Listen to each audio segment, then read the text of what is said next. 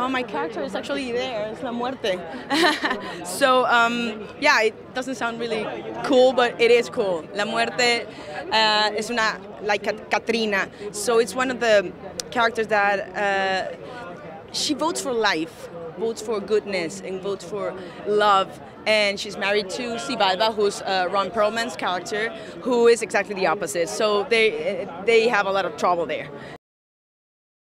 Well, first of all, I think it was about time to have a Mexican movie in Hollywood, just because they're Mexicans and we're neighbors. So, uh, but this is a beautiful tradition that we have in Mexico that we do, do not cry for our deaths. You know, it, it, we celebrate because they go to a better life. So that's what, in our minds, that's what it is.